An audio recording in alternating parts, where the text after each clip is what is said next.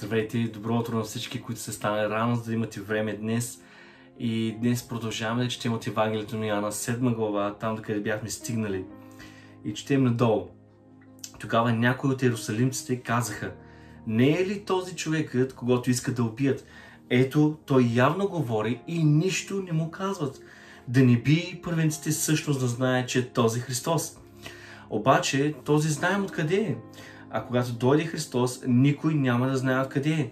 Затова Исус, като получаваше в храма, издигна глас и каза И мене познавате и откъде съм, знаете.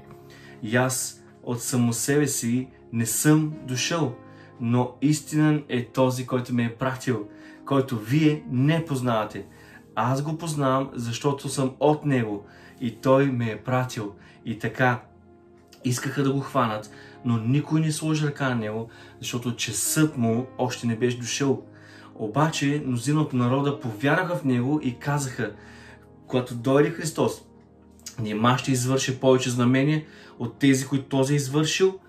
И те като чуха, че това е, се говори за него от народа, и главните свещеници и фарисеи пласкаха судители да го хванат. А Исус им каза, още малко време съм с вас и тогава ще отида при онзи, който ме е пратил. Ще ме търсите и няма да ме намерите. И където съм аз, вие не можете да дойдете.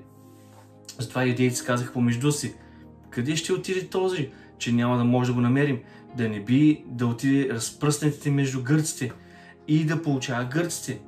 Какво значат тези думи, които казва, ще ме търсите и няма да ме намерите? И където съм аз, вие не може да дойдете. А последния ден, великият ден на празника, Исус застана, издигна глас и каза, ако някой жаден, нека дойде при мене и да пие.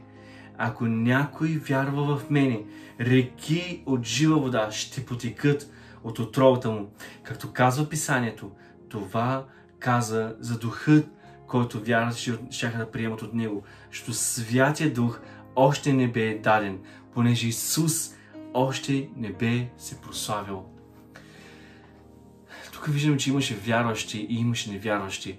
И тези, които вярваха в Исус, и въпреки, че бяха се страхували, те знаеха, че Той е Месията. И ако и да дойде Месия, и вижте, те казват, няма как друг, това, което прави този, няма как да, е, да не е Той. И вижте, Исус Христос казва, ако някой вярва в мен, реки от жива вода ще потекат от отровата му, както казва писанията. За каква вода Исус говори тук и каква е тази вечна вода? Каква е тази вода за вечен живот? И това е вода, която носи живота в себе си. Това е Святия Дух. Святия Дух, който идва в човека, новоражда човека. Но не само новоражда, но изпълва човек. И потичат от човека, отвътре, живи води. И тези живи води са в Святия Дух. И Святия Дух, тази вода, която дава Святия Дух, Исус Христос казва, ако някой вярва в мене, реки от жива вода ще потекат от ролата му, както казва Писанието. Всеки, който вярва в Христос, има Святия Дух в себе си. Всеки, който следва Исус Христос и вярва в Исус Христос, реки от жива вода ще потекат от отровата му. И това е вечният живот, който бълбука вътре в всеки един.